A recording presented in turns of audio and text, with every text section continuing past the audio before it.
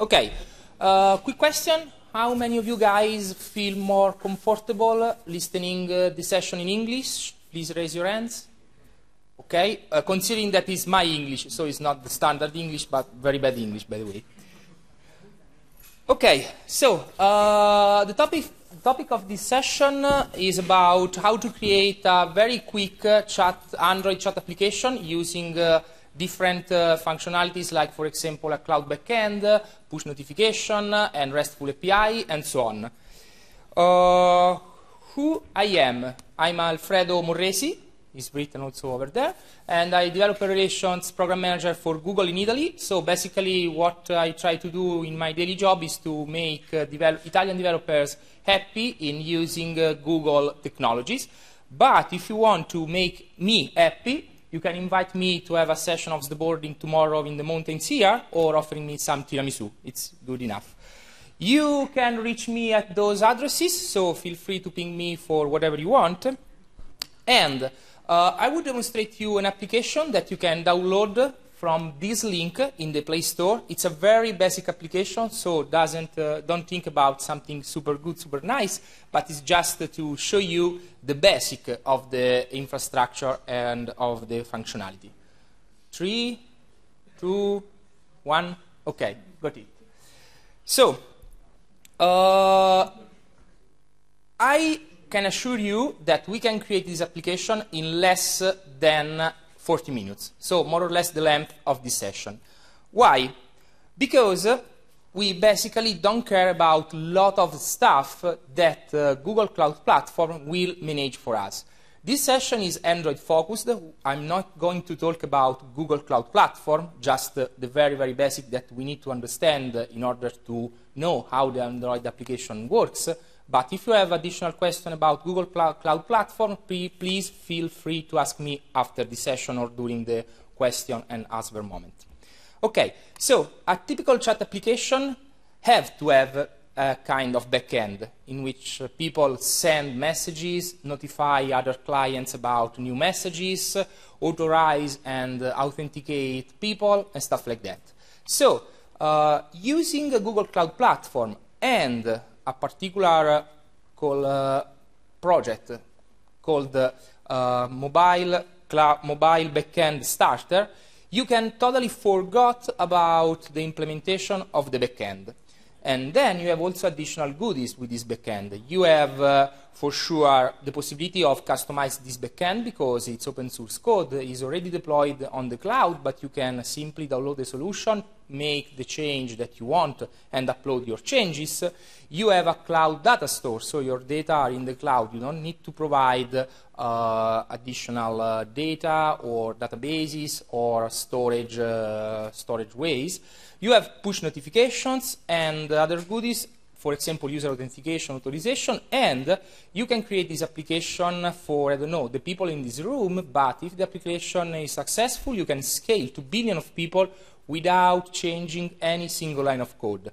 And uh, I think that one of the most important goodies is that it's totally free uh, if you stay under a particular quota, and I more or less can guarantee you that uh, if we do an application for the people here in this room, we are under this particular usage quota, everything is free. You don't uh, even need to insert your credit card to, to get started. So, how to create this backend? Very, very easy. You go to this link, you follow the wizard, and basically you have to create a Google Cloud project so I don't, I don't want to explain how to create and stuff like that because out of, it's out of topic for this session. You put some parameters. You select that you want to deploy mobile backend starter, and this is the basic solution with everything, and you have done. You don't need to do anything else for the cloud part. So you have a working backend with all the goodies I've told you. Then you can download the Android application source code. Also, this one is open source, so you can uh, take a look at it or modify or implement or use it as base for what you want to do. Customize three parameters of this code, and uh, basically you have done. And you have a working chat application. It's the one that you have just downloaded from the Play Store. Is this magic? No. it's just a lot of uh, good, good practices, uh, uh, code and stuff like that put inside both the Android application and the server-side code. So let's discover together the most important uh, components of this architecture. The first one, when we talk about an application that uh, needs to chat, for sure is to communicate with your server and get data back from your server. So, basically, access to your server. You can uh, access to your server in a lot of different ways. You can create your customized transport uh, mm, way, or your protocol, or your, I don't know, custom service. You can, you can use libraries, whatever you want. But nowadays, one very, very used path in the web, web world is to create RESTful API that you can consume in your client, mobile, web, desktop, whatever you want. So, using uh, Google Cloud endpoints, basically you can create those RESTful APIs without worrying about writing the code. You only need to put some annotation, some particular stuff on top of your Java or Python code, and launch a command that automatically for you generates both the server code to create those RESTful APIs, but most important, the client side code. So you have a boilerplate code generated for you for Android, iOS, and web application. So basically in different kind of clients. You are not uh, uh, bounded to the Google ecosystem. It's something that you can use even in iOS or every kind of desktop and web application. This is the basic documentation to understand what cloud endpoints are. Again, it's a cloud service, so I'm not interested in talking about them right now. Because we need to take, uh, okay, uh, together with the cloud endpoints, you also have uh, this particular console that you can use to browse uh, throughout your APIs is the same that you use when you need to explore the standard Google APIs, from, so from Calendar to Gmail, YouTube, and all the services that Google uh, uh, exposes. And uh, for free, you have the same console on your project. Basically, you need to point the browser to this address, and your project ID is the cloud, the Google Cloud project ID you have created before how to set up your, your brand new backend to use, so to communicate with the client. It's very easy. You go to the address of your backend, you select this option, so open, no authentication, no authorization, everyone can communicate with me. Then you need to take the project ID of your code and put it into the project ID field of the Android application you need to check that, that uh, is auth enable uh, value is set to false, and you have done. You have a working application that can chat, that can send and receive messages from a backend. Okay? Very easy, not so complex. So, how it works? Uh, you can imagine that there is a lot of code behind, but in reality there are uh, maybe five, six lines of code that you need to understand. The first one is about Google Cloud Endpoints. As I said, uh, Google Cloud Endpoints create the, boiler, the code for you and wrap everything inside a particular class called, in this case, mobile backend. You can uh, even customize the name of the class. And so you need to create, instantiate and this class. You select a transport, you select a JSON service that can decode and encode your JSON data, and then you set the URI of your cloud uh, backend. Okay? After that, you build, so you create this uh, mobile backend object, and then the real code to access your API is this one. So you have a cloud entity, so any given uh, entity of your mobile application, you can do whatever you want, you put data on it, you should move this application, this cloud entity from uh, your domain to the backend domain. So in this case, uh, translate from cloud entity to entity DTO. Cloud entity is your entity in the local, in the mobile application. Entity DTO is the application used by your APIs. And then you call backend is the mobile backend.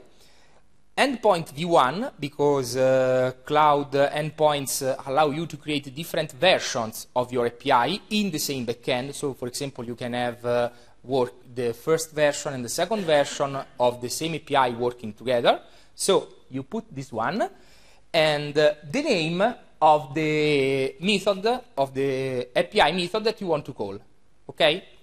Very, very easy, very, very straightforward. You get the result here. Okay? Here you get the result and you have done. So these line of those lines of code basically are the one required to call and insert RESTful API, adding some data, some object, and getting back the result of this insert. Okay? So basically there are three, four lines of code with a log. Everything clear right now? Okay. So, second step, we need to add authorization and authentication. So, what does it mean? Uh, authorization is the fact that uh, everyone or just a selected group of people, application, uh, devices can access to your APIs. Because you can have APIs for the public, so it's important that everyone can, access, can access to them, but you can also say, okay, this is, those APIs, I want to expose them on the internet, but I want that only my Android application or my web application or my iOS application are able to consume my APIs, okay? And so you need to set up the authorization. Then you can go further and say, okay, only authenticated users can use my APIs. Okay? So, also in this case, you can uh, implement everything by your own. You can create all the code required to manage uh, so, so, much think. Or you can simply use, also in this case, mobile, uh, sorry, cloud backends that manage everything for you. You only need to set up two parameters. The first one is uh, a client ID, um, basically a Android client ID, but can even be uh, iOS client ID or web app client ID. So it's something that uh, unite, uniquely identify your application. Okay, so you can say those APIs can reply and can be consumed only by those this set of client IDs. Okay, nothing else. And then because you want to be authenticated, sorry, uh, see, yes, because you want to be authenticated to the API, you also need to define the web client ID. It's typical of the OAuth 2 flow. So instead of asking for user permission, because basically you are the same of, you the same mobile developer and web developer, so you don't need to ask the user, give me your permission to access your data on my, on my server with my application. It's pretty much stupid. And so you need this client. How to obtain those clients? Also in this case is very straightforward. You go to your uh, project, you go on credential, create, click on installed application, Android, and the learn more uh, link give you all the information uh, required to obtain basically this fingerprint, and uh, you have done. You have the Android client ID. Here it is. Then you can, again on credential, create new uh, credential, web application, because you are not managing third-party application, you can simply leave uh, those fields uh, as the default. Otherwise, here you should put uh, a lot of other stuff. And then you have your client ID. So, Android client ID, web client ID, you put them on your backend in the setup page of your, of your backend, and this is just an example. You can put uh, those uh, parameters in your backend in the way you like. It's not important that you use this particular configuration page. Enable the security on your backend. So before you remember, before it was open, now is uh, secure. Before was open, now is secured. Set those values on the const in the Android client, and again, you have done. Now you have a working chat application that authenticate users and uh, do all the stuff required to, uh, and uh, sorry, the APIs only accept connection from your application. Okay? So, also in this, guy, in this case, is not black magic. it's code and we're going to analyze a little bit of it. First step, authentication. Uh, you can uh, ask for the user a username, a password to create a new account, to use another account, you can do whatever you want, or because you are in Android in this specific case, you can even use the account that the user has configured to use the device. So instead of asking for a brand new username, a brand new password, or give me your credential because you can trust me, okay guys, no way. You can directly ask to the Android system, please to, sorry, to the user, please pick up the account that you want to use, so no need to disclosure your password, using the standard um, account chooser dialog, so nothing new, something that the user already know, because it's the, sa the same picker used in other applications. You read only the name, not the password, so only the email address of the user, so we are pretty much still in safe and then giving this, uh, those data, you can create this particular object called HTTP request initializer.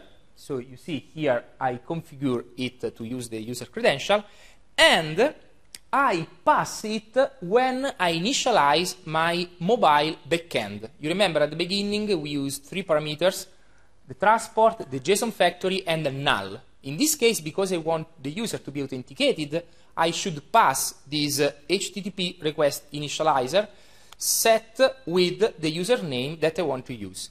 Automatically, now your backends API take care of everything for you. So, uh, to the backends API, uh, only an authenticated user now can access without the need of specifying his password and something uh, other. So, it's also in this case, it's very, very easy. Question right now? Okay, third step, push notification. So, here, a question time for you guys.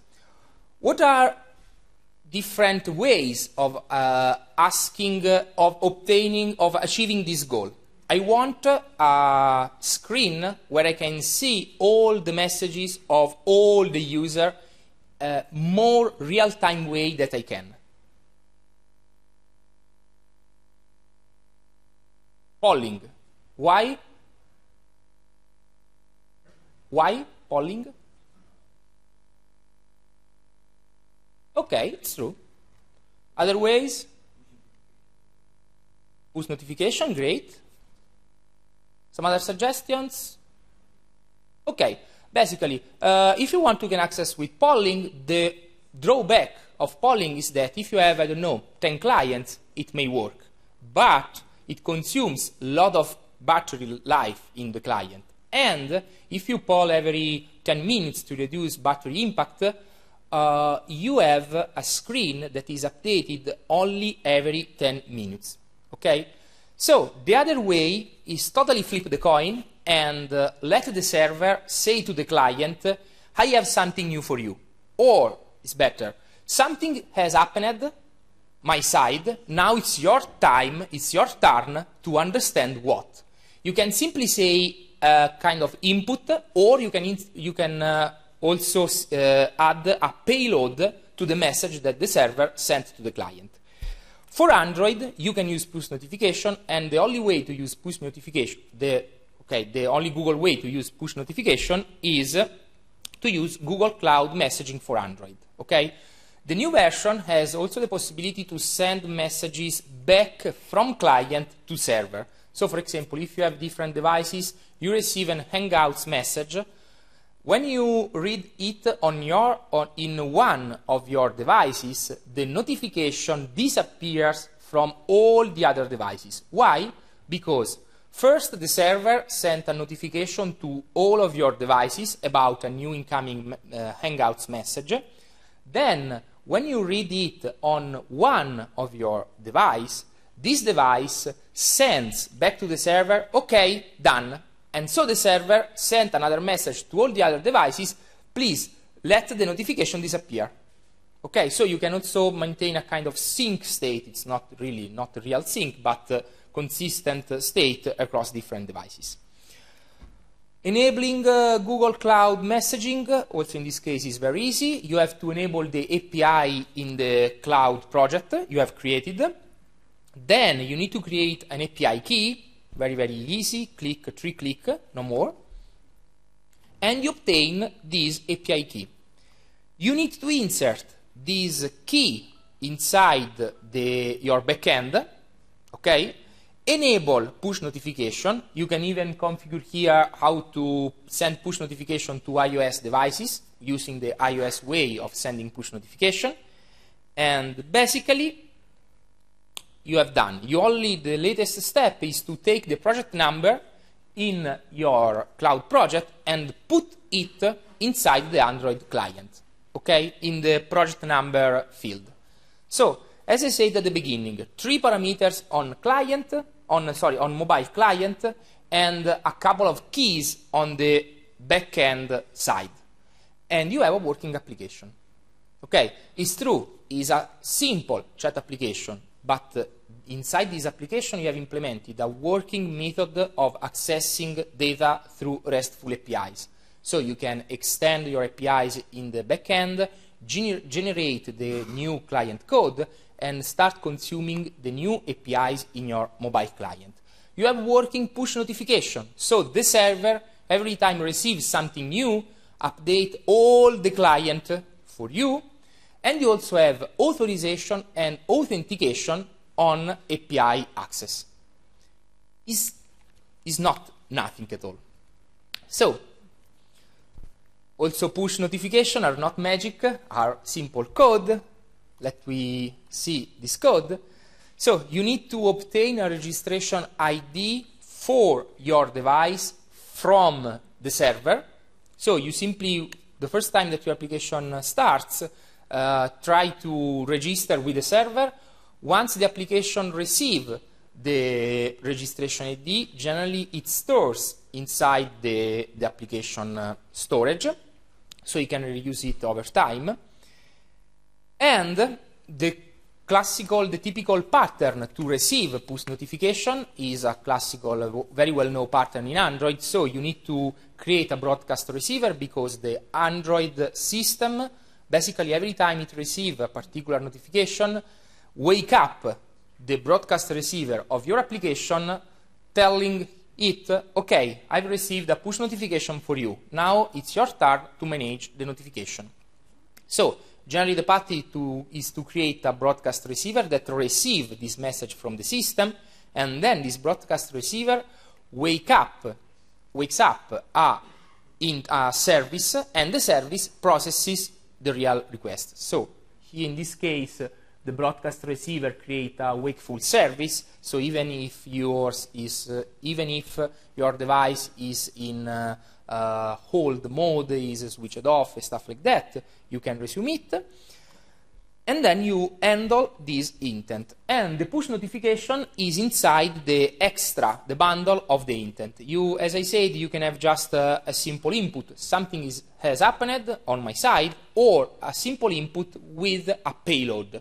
And so, for example, for a short message, you can even pass the beginning of the message directly in the push notification. So you don't need to connect back to the server to download something and to do your stuff. Okay, one important thing, registering to the server is a network operation, so do it in async way. Don't block the main thread of your application just because you want to register to the server or don't put in the main flow of your application. It's something that have to be in the async side, side from your application. Okay, questions right now?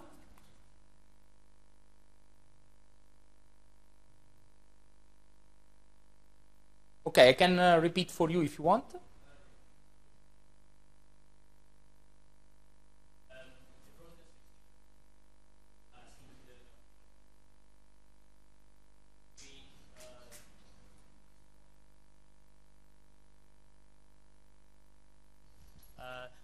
Need to make sure that the services will not make you know will not be uh, destroyed? Uh, I, I, think that uh, having this kind of service uh, destroyed by the system is pretty much impossible because uh, you you create you have a broadcast receiver so the broadcast the broadcast receiver wake up a service the service obviously if you if if, uh, if you receive uh, uh, i don't know uh, a notification a push notification and then you start updating all of your data downloading uh, gigabytes from the internet. Obviously you Might can have problems. Okay. but if you uh, if you maintain the service uh, uh, quick and maybe the service creates other tasks or other Android patterns that are more suitable for processing long operation, you should be okay. Okay, thank you.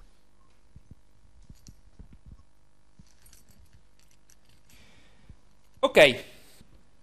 Uh, bonus step. All the API calls are network operation. And so, async them. no way. Uh, this kind of... Uh, okay, async them. This kind of call, you cannot... Okay, you can do whatever you want, but it's super, super wrong to put this line of code inside, for example, the on-click listener of your button. Okay, avoid this because it's wrong because the user have the main uh, UI thread blocked you have to wait for the network you don't know the timeout and everything is going to have to be a mess so what's the one of the good way of managing this kind of async call inside the application the demo application the team created a cloud backend is a sort of manager that is responsible for managing calls to the web services so the android application only knows this cloud backend. Then the cloud backend knows that you have to create a mobile backend class, set parameters, and stuff like that. So it's totally a black box for the rest of the Android application. And then on top of this cloud backend, cloud backend async extends the basic method of cloud backend adding async task. So he create handlers, he create a lot of stuff. Obviously, you can say, yes, I, it's nice, but I can do everything in just one class. Okay, why create two separate classes? So, here the sample is uh, uh, cloud. Here you create an handler, okay, and then you create, you call the, your cloud backend async in this case, and then you ask for something passing the handler, the callback basically at the end. Okay? Why this is good to use at least two separate classes? Okay, to make the discussion more compelling, I can offer you a gadget if you reply in the right way. Ideas? I can say you that is something about uh, quality of the code.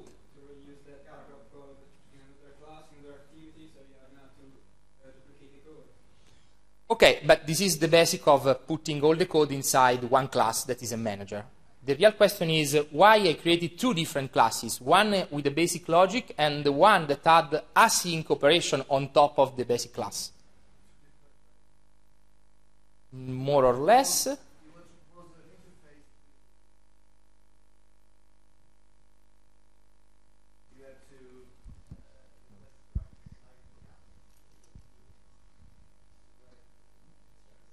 Okay, I think I did. oh, Maybe you can expand the detail to classes and then yes, you can. so you can change one and leave that as it is, or Uh, yeah, but you need to build something. Uh, you, you cannot simply extend your class, but you have to build some dependency injection mechanism on top of the async task. Yeah. Okay, how many of you guys uh, use uh, We can TDD? write tests. We can write tests. Yes, uh, great, finally.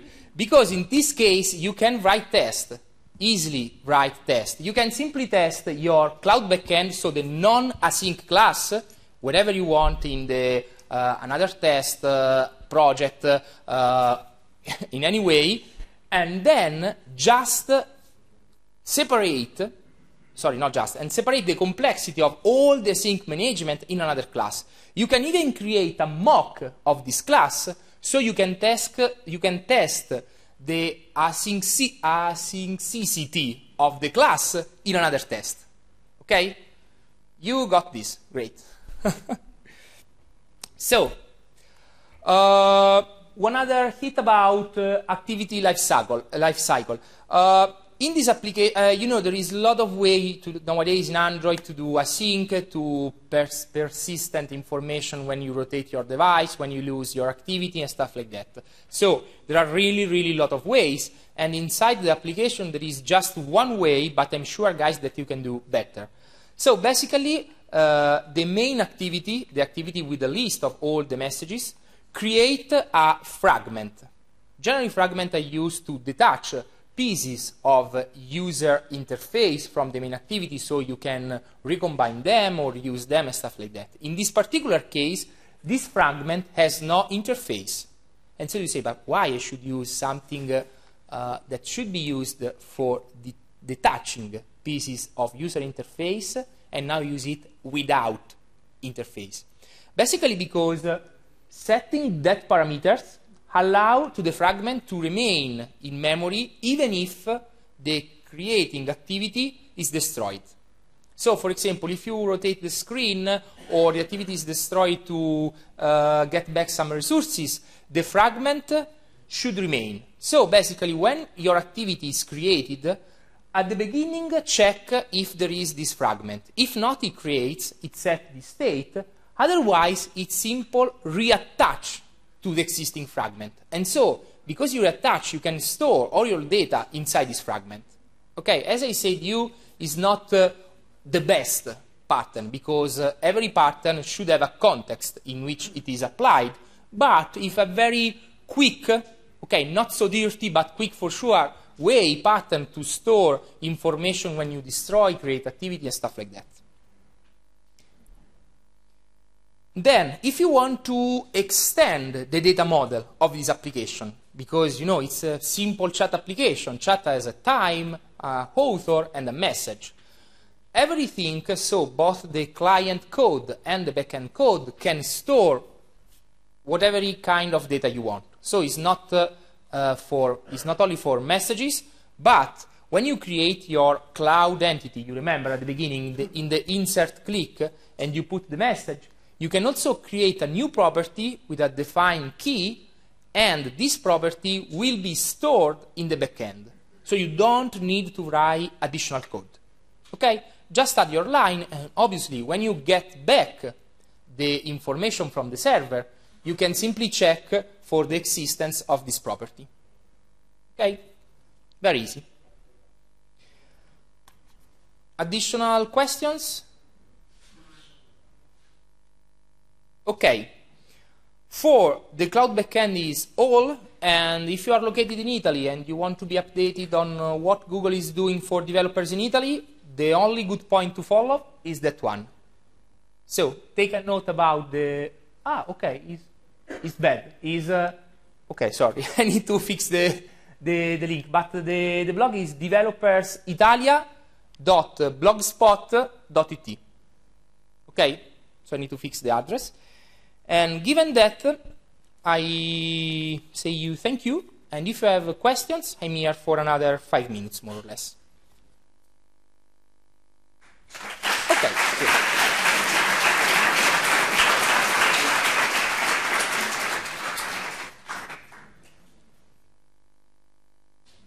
Questions? Nothing? So, you have five minutes of your time back. Use it uh, as much as you can.